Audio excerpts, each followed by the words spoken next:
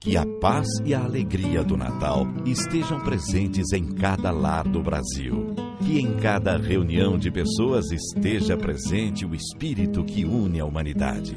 Que seja abençoado quem, com o suor do próprio rosto, produziu os alimentos que estarão em cada ceia de Natal. A você, homem do campo, muita felicidade, muita saúde e obrigado pela mesa farta.